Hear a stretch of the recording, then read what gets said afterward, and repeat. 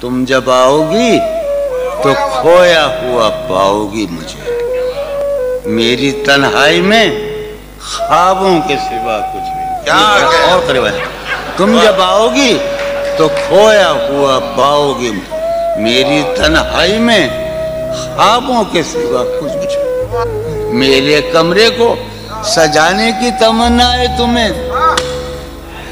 मेरे कमरे को सजाने की तमन्ना है तुम्हें, मेरे कमरे में किताबों के सिवा कुछ मेरे कमरे को सजाने की तमन्ना है तुम्हें।